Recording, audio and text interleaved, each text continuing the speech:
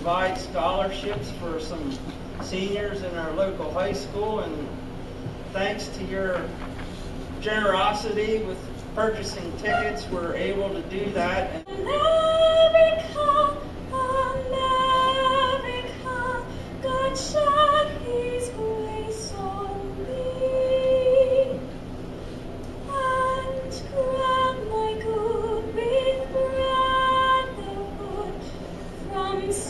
We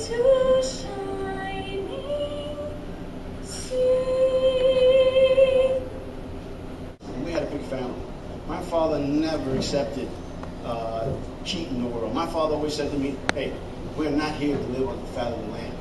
And that is the truth to myself and all my brothers. And I'm so proud of that. Uh, we're here to work hard. We're here to hopefully be treated fair, help others. And with that attitude, I grew up with that, with the education, with the service, and so forth. And that made me sweet corn. So if you're in the mood for sweet corn and like chicken corn soup, uh, Al has good sweet corn for sale. So at this time, we have some citations that we'd like to present to you. else to know that too. And thank you very, very much for this.